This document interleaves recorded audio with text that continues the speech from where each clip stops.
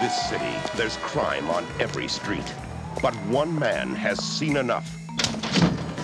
He's Lieutenant Frank Drebin. Whatever scum did this, not one man on this force will rest for one minute until he's behind bars.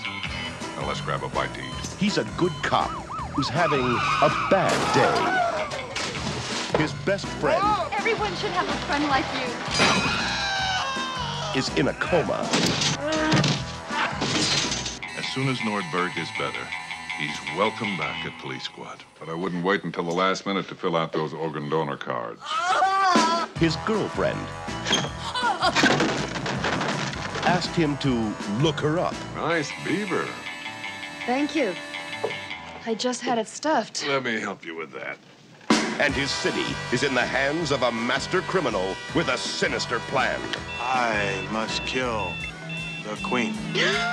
How can any police story contain this much action? This much romance? I like cops. Or this much baseball? Starring Leslie Nielsen, a cop who's always on the alert. Mikhail Gorbachev, I knew it. Queen Elizabeth, everyone's favorite queen. Priscilla Presley, a woman who really cooks. How hot and wet do you like it? Ricardo Montalban, Frank. You're both right. George Kennedy, the partner with an appetite for danger. O.J. Simpson, as you've never seen him before. And Reggie Jackson in his first dramatic role.